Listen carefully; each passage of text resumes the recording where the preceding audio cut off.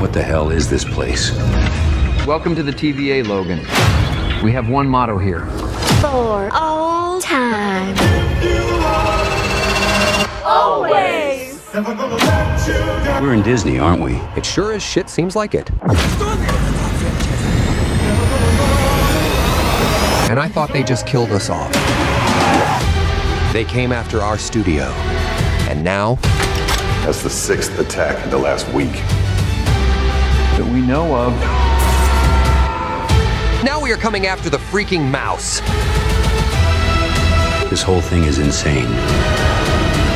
We need to get back to our universes. Sure, but before we do, let's have some fun while we're at it. What the hell are you doing, Wade? He's breaking every single timeline. We gotta stop him.